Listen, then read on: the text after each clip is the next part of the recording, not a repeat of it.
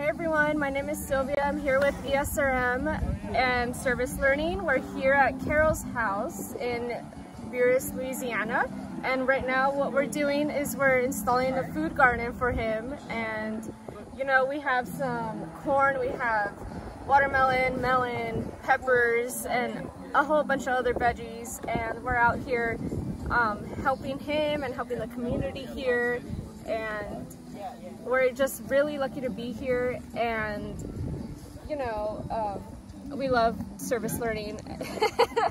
And uh, you know it's all about the experience so was it fun? Was it, it fun? very fun. It is fun. So we're out here having a blast literally. We're out here learning and this is what we've what we've been doing all day since the morning. So yeah. Good progress Woo, woo, woo.